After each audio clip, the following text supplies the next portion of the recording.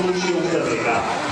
17 Kinder im Alter von 6 bis 12 Jahren trainieren zweimal in der Woche mit voller Motivation und Engagement. Heute zeigen sie uns ihr bereits erlerntes sportakrobatisches Können mit einem Weihnachtsmix. Viel Vergnügen!